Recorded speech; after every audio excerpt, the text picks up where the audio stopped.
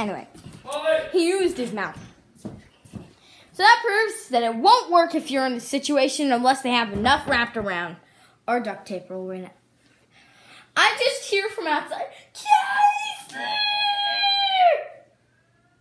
I'm gonna ignore it. Casey!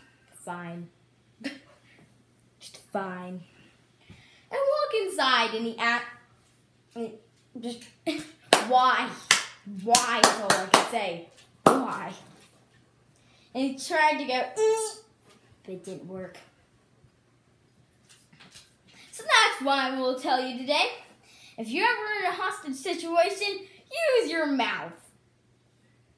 Don't get in a hostage situation. Anyway, guys, thank you so much for watching my video. Like, subscribe, do all that stuff, and bye!